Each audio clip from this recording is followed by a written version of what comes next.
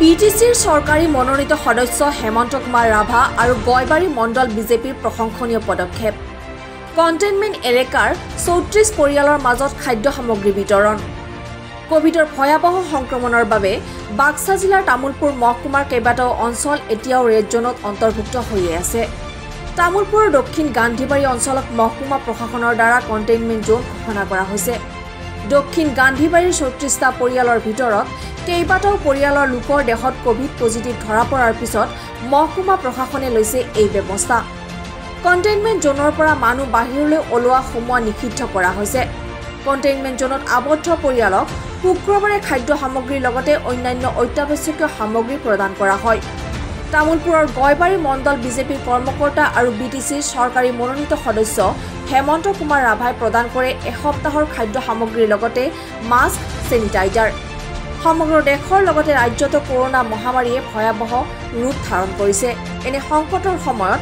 গান্ধীবাৰীত গয়বাৰী মণ্ডল বিজেপিৰ সহযোগত B T চিৰ চৰকাৰী মনোনীত সদস্য হেমন্ত কুমাৰ ৰাভাই তামোলপুৰৰ দক্ষিণ গান্ধীবাৰী কণ্টেইনমেণ্ট জ'ন পৰিদৰ্শন কৰি গয়বাৰী মণ্ডল বিজেপিৰ সহযোগত সেইসমূহ ৰাইজক বিভিন্ন ধৰণৰ খাদ্য সামগ্ৰী তথা মাস্ক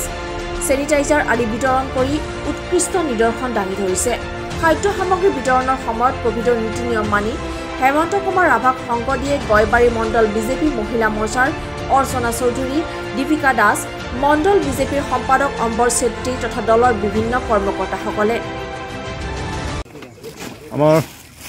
সমগ্ৰ অসমৰ লগতে বাক্সা জিলাৰ গান্ধীবাৰী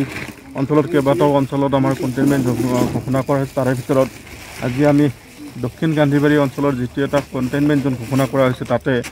যিখিনি ক'ভিড পেচেণ্ট আজি ইয়াতে আবদ্ধ হৈ থাকিব লগা হৈছে বা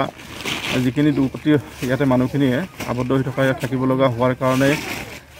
বিভিন্ন কাৰণত সম- সমস্যাৰ সন্মুখীন হৈছে বিশেষভাৱে আৰ্থিক ক্ষেত্ৰতে হওক বা বজাৰ বা বজাৰ আদি কৰাৰ ক্ষেত্ৰতে হওক। সেইকাৰণে আমাৰ তৰফৰ পৰা কিছু এই পৰিয়ালখিনিক আৰ্থিক খাদ্য সামগ্ৰী বিতৰণ কৰা এটা কাৰ্যসূচী লৈছোঁ আৰু আমাৰ ভাৰতীয় জনতা পাৰ্টীৰ যিটো সেৱাই সংগঠন সেই যিটো এটা আদৰ্শ সেই আদৰ্শটোক আগত ৰাখি আমি এই দুখীয়া পৰিয়ালসকলক বা আজি এই ক'ভিড পজিটিভ পেচেণ্টসকলক আজি কিছু খাদ্য সামগ্ৰী বিতৰণৰ কাৰ্যসূচী গ্ৰহণ কৰিছোঁ। ইয়াৰ দ্বাৰা আমাৰ এই পৰিয়াল কিছু সকাহ পাব বুলি ভাবিছোঁ। আৰু মই আমাৰ প্ৰশাসনৰ লগতো এই বিষয়ৰ লগত কথা পাতিছোঁ আমাৰ বাক্সা জিলাৰ ডি চি অফিচৰ লগতো বিষয়টো মই কথা পাতিছোঁ যে আমাৰ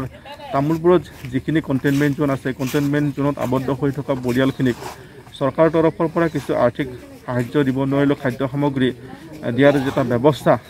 কৰাৰ কাৰণে ইতিমধ্যে আমাৰ ডি চি অফিচৰ পৰা এটা সুন্দৰভাৱে ইয়াতে আমাক আশ্বাস এটা দিছে যে খুব সোনকালে এই পৰিয়ালখিনিক অৰ্থাৎ কণ্টেইনমেণ্ট জ'নত আবদ্ধ হৈ থকা পৰিয়ালসকলক প্ৰশাসনৰ তৰফৰ পৰা চৰকাৰৰ তৰফৰ পৰা কিছু খাদ্য সামগ্ৰী যোগানৰ ব্যৱস্থা গ্ৰহণ কৰিব আৰু মই ভাবোঁ কি যে এইটো আজি বা কালিৰ ভিতৰত এইটো তেওঁলোকৰ ফালৰ পৰা হ'ব আৰু বিশেষভাৱে চৰকাৰেও এই ক'ভিড যুঁজখনত যথেষ্ট সক্ৰিয়তাৰে কাম কৰি আছে আৰু আমিও আমাৰ যিখিনি জনসাধাৰণ আছোঁ সেই জনসাধাৰণখনেও এই ক্ষেত্ৰত চৰকাৰৰ লগত থাকি এই যুঁজখনত যাতে আমি সফলভাৱে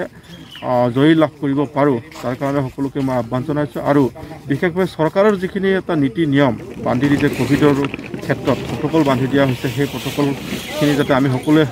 মানি চলোঁ। তামোলপুৰৰ পৰা কুমাৰী পাঠকৰ ৰিপৰ্ট নিউজ